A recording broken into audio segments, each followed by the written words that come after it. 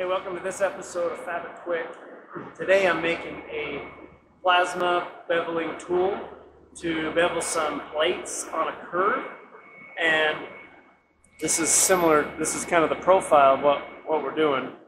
And uh, we're going to do it out of aluminum, a three inch cube of aluminum. Um, we burned out a plate that's going to go around the curve of this plate. And this way we can just put this holder onto the plasma. It clamps onto the end of the plasma torch. And then we can just pull the plasma along. Because I got about 48 uh, plates to do and they get a double bevel both sides. We just thought this would be faster to plasma cut it instead of grinding it. Uh, so let's get that going. Uh, it's going to be mostly on the mill and then some drilling.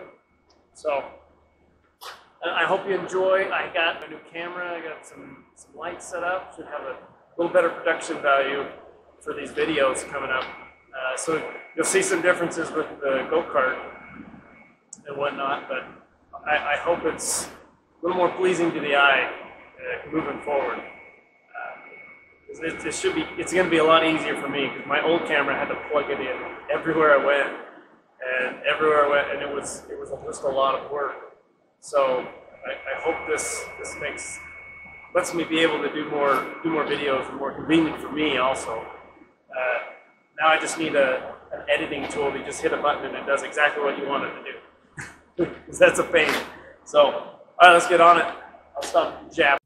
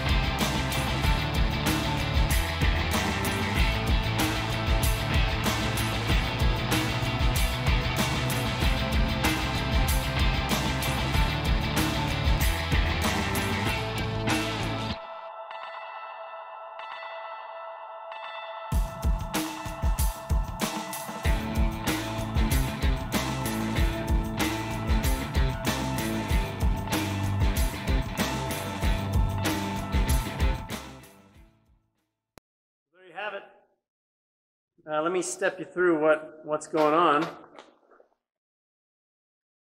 So this rides on a rail or on a guide, a guide bar and holds the, the plasma tip, but I made it nice and heavy, three inches wide.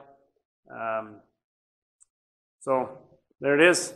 And, and I'll, I'll show you some video of it, of it uh, doing its thing. Uh, so hit that. Uh, thanks for watching this Fab It Quick episode.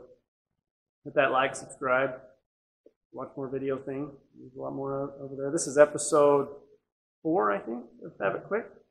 And I hope you guys enjoy that. I try to do it really fast. Uh, short little things like this that a lot of repetitious stuff, but nice, nice quick video for neat little one of part. Yeah, see you in the next video. Uh, thanks.